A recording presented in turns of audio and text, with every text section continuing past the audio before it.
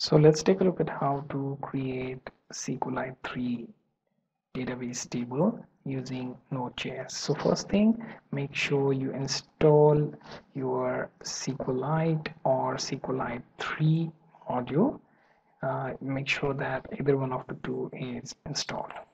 Once you do that, open text editor and create one file name, let's say sample.js. Okay, and make sure it's in the same directory. And you navigate to that. Okay. Now first thing is create constant.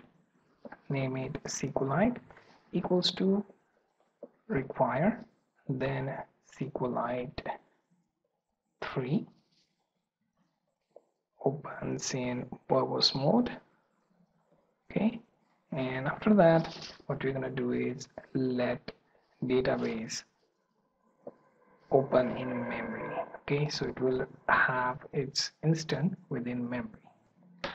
So what we're going to do is we are going to call for SQLite 3 okay? I'm using SQLite 3 here and then call database. Okay make sure that it is properly written then memory. Make sure colon at the start and the end of memory okay?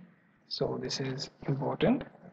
After that simply type in db.new and here inside we are going to write our query. So create table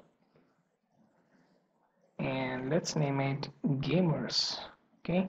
So we're going to create table for gamers with group id for each.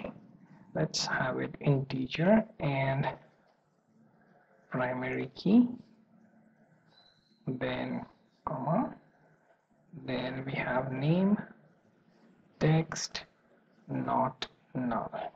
Okay close the bracket and you can use semicolon. Then you can have um, comma outside. Okay. So after that we are going to have uh, one more important thing which is function to handle error. Okay. So to do that we are going to go with simple error handling such as if then error. Then we can call for. Within that we can simply throw error or write one more as return and console console.log error.message okay this is one way you can handle it by directly saying throw error okay. And outside this simply have one more console.log say table created. Okay.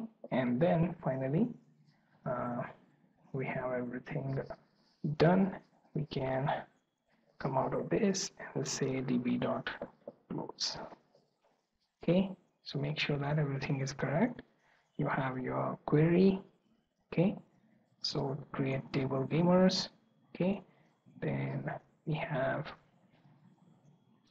our query and then text not null then we have our function to handle error and returning to console with error message.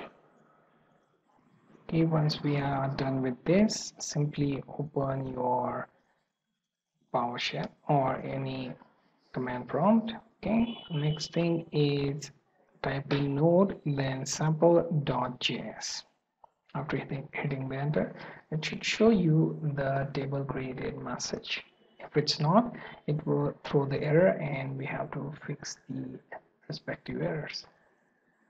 You can see SQLite 3 is not defined. That means we have to go here and change this to SQLite because we are referring to this and not SQLite 3 which is module right here.